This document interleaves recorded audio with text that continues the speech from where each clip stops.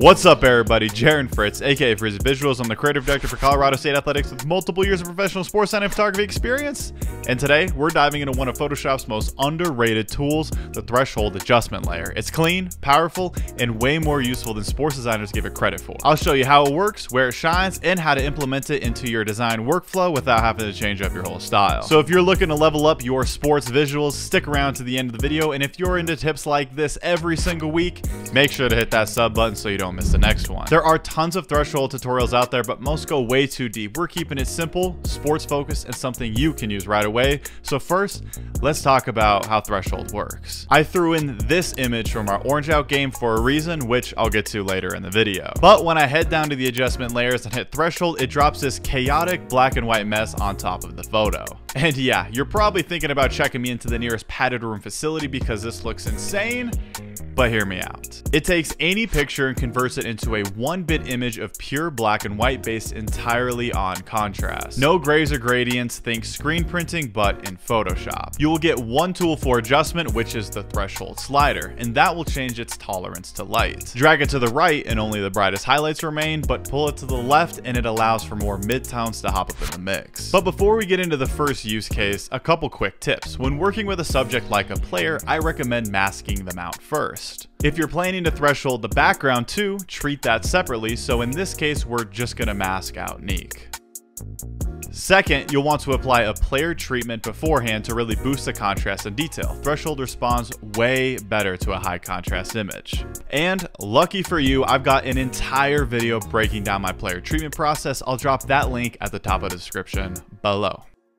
And the last tip before I spill all the secret sauce is you can use masks to refine the threshold. So taking a look, we got our isolated player with the treatment applied. And when we throw on the threshold layer, you'll notice some of the areas get super dark while others blow out completely, especially down in the shoes. If we try to pull some of that detail back into the shoes by dragging the slider to the right, we recover that area, but we also start losing detail everywhere else. The player starts melting into a black void. We can refine this selection by simply masking out only the shoes. The greatest part about about threshold is you don't have to be incredibly precise. Because now that we have a threshold layer covering just the shoes, when we add additional threshold layers, no matter how much you manipulate it, it will not affect the previous threshold layer we have on the shoes beneath it. So what this does is it allows you to stack multiple thresholds at varying values to create a more even one-bit version of your subject. So as you can see while I'm workshopping this, we are creating a very even image.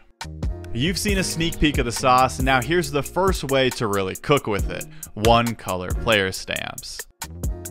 A real world sports design example is this marketing poster I created for our State of Colorado Pride game. We swapped our usual color scheme for the state flag palette and I wanted those bold colors to take center stage within the design. To make that happen, I use an overlapping one color player stamp right in the middle. It's clean, fully driven by the colors of Colorado, which is exactly what we wanted this to convey. So let's talk about that double Bowen stamp we got going on up in the middle. This is the cleanest, most plug and play way to start using threshold in your designs and we have actually already done all of the legwork for it. Just go through that same process I showed earlier. Drop on a threshold layer, tweak it to your liking, and use masks if need be to refine certain areas. So once you have your subject where you want them, just make sure they are on a pure white background. We're going to create a new layer, then go up and click select, then color range. This menu will pop up. Make sure you are on the eyedropper tool with a fuzziness of 40. Since we're working with just two distinct colors, black and white, it's super easy to swap the black for any color that you want using this selection method. So you will hover the eyedropper tool over the black area, click it, then hit OK. Once you bounce up out of that menu, you will see that all the black area is selected. So on the new layer you just created, you can pick and choose whatever color you want this to be. In our case, we're gonna go with our Aggie throwback green, which when we hit select and use hotkey G to equip the paint bucket, and then on that new layer we created beforehand, we are going to fill that selected area. You now have a one color player stamp that can be used as is or manipulated in several ways. You can first change the color of certain areas, and since this is from our orange out game, let's just make his jersey orange. You will click on your new stamp layer and create a new layer above it. You will then select the new layer, right click, and select create clipping mask. Now you can grab the brush tool with your new color and just paint right over it. Since it's set up as a clipping mask, the color will only appear on the pixels from the layer below, so you don't need to be extremely precise. As we zoom out, you can see we have now only made the jersey orange where the rest of the image remains green. Another way we can mess with the one color stamp option is by making what I'd personally call color blocks. Jumping back into the state pride graphic, you can see the main stamp is blue, but over the blue section, the stamp turns to white. This is also extremely easy to replicate, so jumping back into our Photoshop file, we have the all green stamp. I will throw a green box underneath purely to showcase what I'm talking about. You will next want to select the pixels of that box, create a layer above the stamp, and fill it with your other color.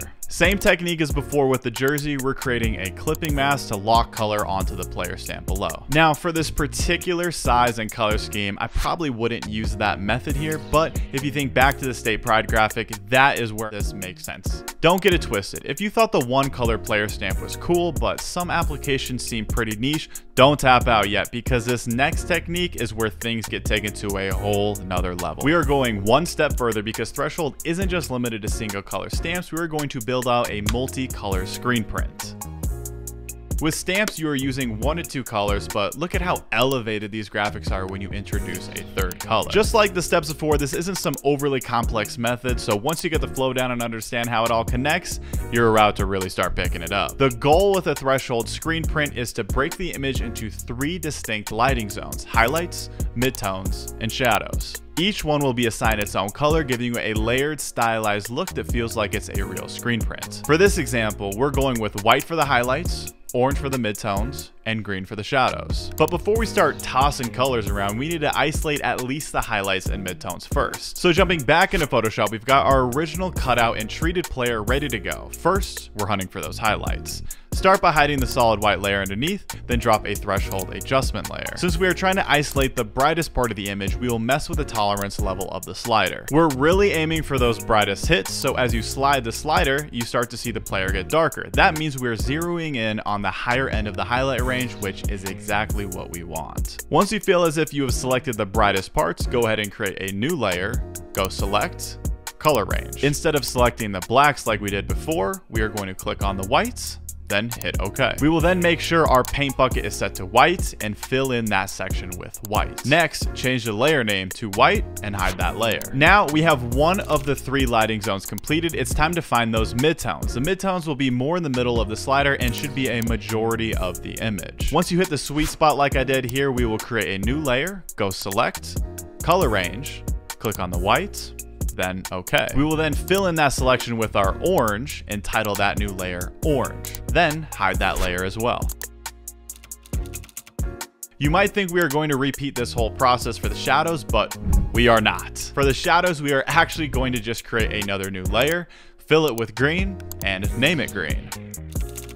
When we go back to activate the orange and the white layers, you see we have successfully built a three color screen print of our player. In order to snap that green to the outline of the player, you can simply select the pixels from the cutout, click on your green layer, inverse the selection, and delete the dead pixels. So now you have a free-flowing three-color screen print that you can put on multiple backgrounds. The framework is down. Let's now talk about real world application. Where does this actually fit within your designs? Just this past season, I used the one color stamp technique to highlight the arenas we played in for our starting five graphics. Super quick to mock up, and it added a different visual element to a heavily repeated graphic. You've also probably noticed a few of the marketing posters popping up throughout this video. Whenever we had a color out, I heavily leaned on this look. If you don't have a deep photo pool for these themes, especially ones with different colors, it's a very easy way to build a strong identity around the event. And I'm not the only one using this technique. Literally, while working on this video, I saw two use cases that I really liked. BYU hit us with this gritty threshold treatment on the large player in the background, and Wyoming is rocking a one color repeated post stamp at the bottom of their sign graphics. Bottom line, learning threshold isn't the whole recipe. You'll still need texture filters and a clean comp, but this is one of those underrated tricks that when used right, can get you right. Like and subscribe if you learned something from this video. Drop a comment what you plan to use it for. Until next time.